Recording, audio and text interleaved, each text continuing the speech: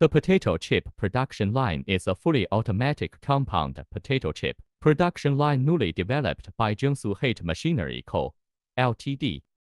This production line includes the entire production process from powdered raw materials to potato chips at the same time, combined with a fully automatic crushing and recycling mechanism and a newly developed frying